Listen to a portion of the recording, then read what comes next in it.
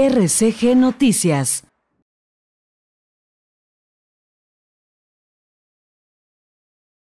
Más de 2.000 personas visitarán Saltillo debido a que será la sede del Congreso Nacional de la Industria de Reuniones el próximo 2020.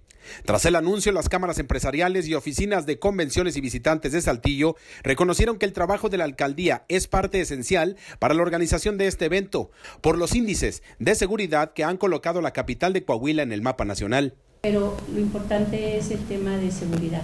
Entonces creo que aquí este, se ha logrado, creo que hemos logrado ser este, para, para México, para el Estado, una ciudad muy, muy segura.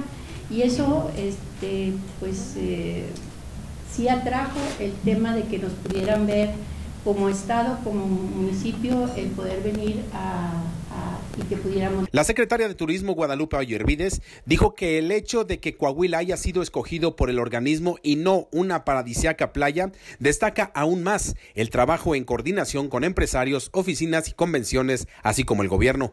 Ustedes nos acompañaron el día que estuvo aquí el presidente Jaime, se vendió el destino de Coahuila, de Saltillo, y la verdad es que se vende solo.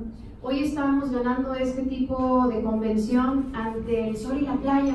Y muchos van a decir, bueno, ¿quién va a querer cambiar la playa, la arena, el sol, estar en un lugar así?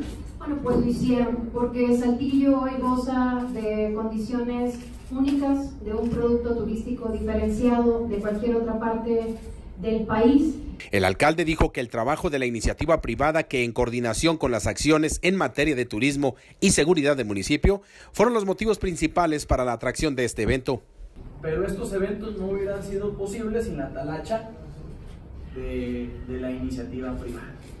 Las condiciones están, pero si no tenemos empresarias eh, y empresarios echados para adelante, eh, perseverantes eh, y visionarios, pues difícilmente se hubiera ganado esta sede de un evento nacional que como dijo Lupita lo competimos eh, con playas de talla internacional.